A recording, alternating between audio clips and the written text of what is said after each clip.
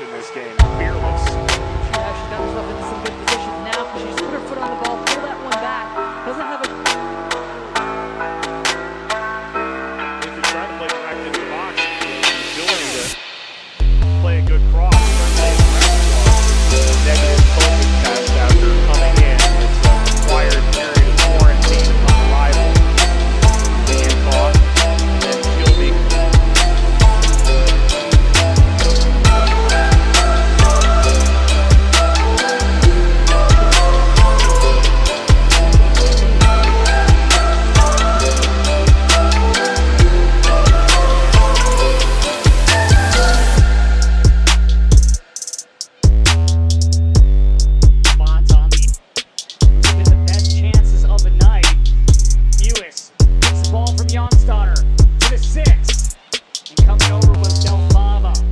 out wide and making sure that, that Krueger is there and, and not able to really feel the, the freedom to just go forward for Chicago.